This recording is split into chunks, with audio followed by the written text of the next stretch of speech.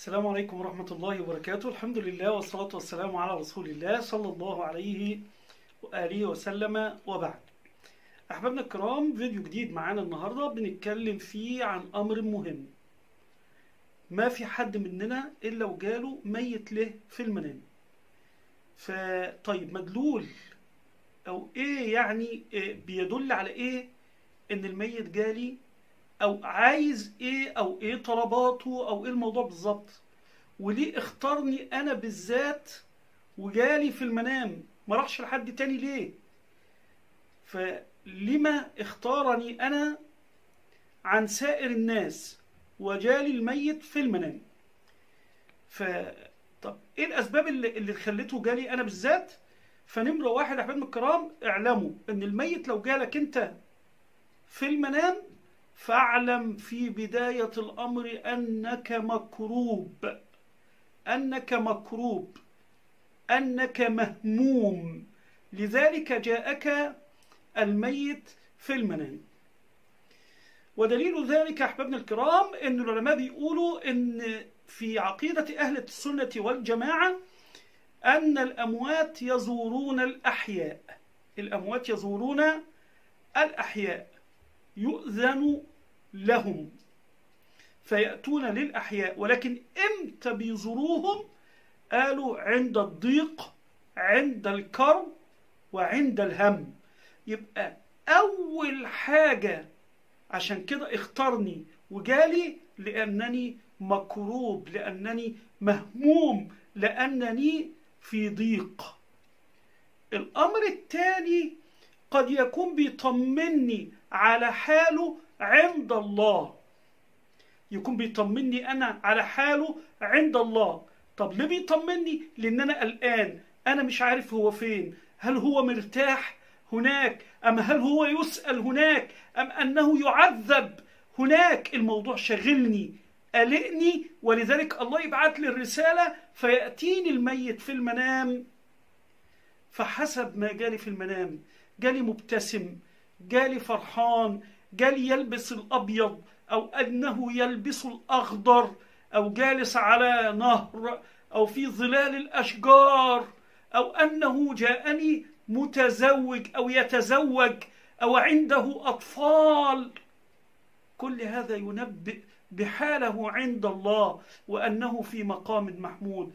قلنا الكرسي قاعد على كرسي قاعد كده على كرسي كده ومية مية كده فبينبئني بحاله عند ربنا إن هو في مقام محمود إن المتقين في جنات ونهر في مقعد صدق عند مليك مقتدر. الأمر التالي ليه اختارني أنا؟ لأنه ممكن يكون في الم في الم في الرؤيا بيوصيني بوصيه بيوصيني بوصية. لكن العلماء على أنه في عقيدة أهل السنة والجماعة غير واجبة. العمل بالرؤية غير واجب. يعني لو جالي يأمرني بأمر أنا أعرض هذا الأمر على الشرع. فإن سبه فبها ونعمة. إن وافق الشرع فبها ونعمة. وإن خالفه ضربت بالرؤية عرض الحائط. فلا يعمل بمقتضاها. تمام يا أحبابنا الكرام؟ فاذا هو جاي يوصيني بوصية بيوصيني على أخواتي بيوصيني على والدتي اللي هو تاركها.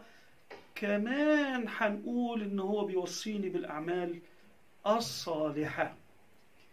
كمان يا أحبابنا الكرام جالي أنا لأنه يعلم إن أنا مهتم بيه وإن أنا ممكن أدعو له. فلو جالي بيطلب الدعاء جالي جعان جالي عطشان جالي هدومه مقطعة جالي عريان كل ده يستوجب الصدقة أو يستوجب الدعاء. ففي حديث النبي صلى الله عليه وسلم إذا مات العبد المسلم انقطع عمله إلا من ثلاث. صدقة جارية. أو علم ينتفع به.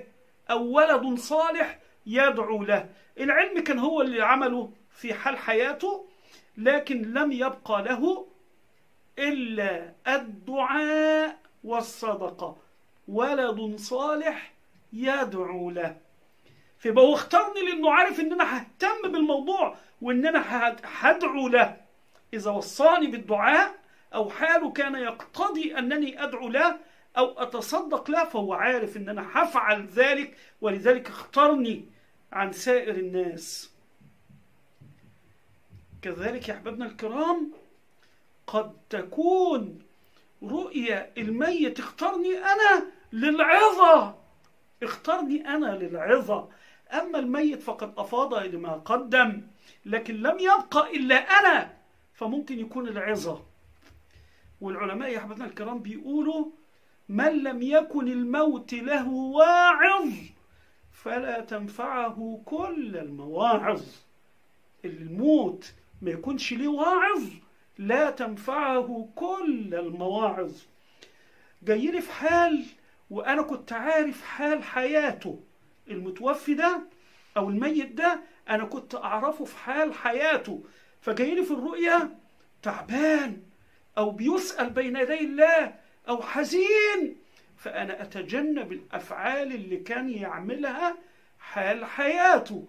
شفته جاي لي بيتنعم وجميل. فأنا ألتزم بالأشياء اللي كان بيعملها حال حياته العظة من الرؤيا وقد تكون هناك رسائل رسائل خاصة رسائل مخصوصة. لذلك رأيت الميت في المنام.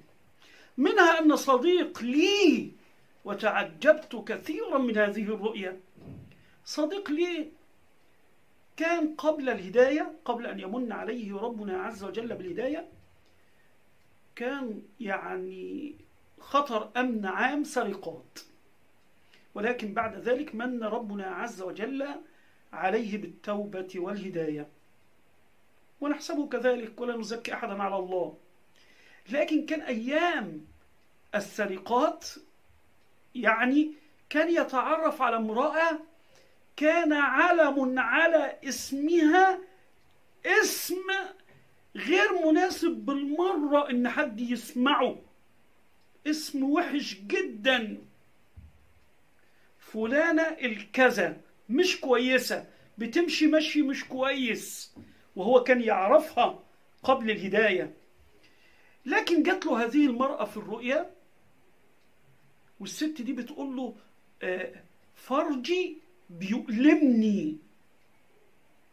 فمما لا شك فيه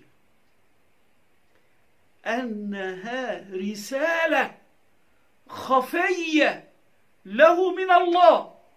إن دي كانت بتمشي المشي ده وإن المشي ده خلاها في القبر تتألم بسبب هذا المكان اللي كانت بتعصي ربنا عز وجل به. ولذلك الرسالة له ألا تفعل. كما يقول ربنا عز وجل ولا تقربوا الزنا إنه كان فاحشة وساء سبيلا. فلعل نختار العبد ده بالذات أو اختارك أنت بالذات أنت مخصوص حتى أن يكون لك عظة. فلا بد أن تتعظ. والرؤيا آية من آيات الله سبحانه تبارك وتعالى تدلنا على الله تعرفنا بالله. تعرفك انت فين؟ ولازم ترجع إلى الله وتحسن الذي بينك وبين الله حتى يصلح ربنا عز وجل بينك وبين الدنيا وما عليها. ده اللي إحنا قدرنا نجمعه النهارده. ليه اختارك الميت؟ عشان يجي لك في الرؤيا انت وما جاش لحد تاني؟ لو عجبكم الفيديو يا ريت تعملوا له لايك. نشير الخير ده مع الناس حتى تعم الفائده كمان يا أحبابنا الكرام اللي بيشوفني لأول مرة يا ريت يعمل اشتراك في القناة. فعل خاصية الجرس يختار منها الكل. حتى يأتي إشعار بكل ما هو جديد. كمان يا أحبابنا الكرام أراكم على خير. في لقاء آخر إن شاء الله. أستودعكم الله الذي لا تضيع ودائعه. سبحانك اللهم ربنا وبحمدك أشهد أن لا إله إلا أنت أستغفرك وأتوب إليك والسلام عليكم ورحمة الله وبركاته.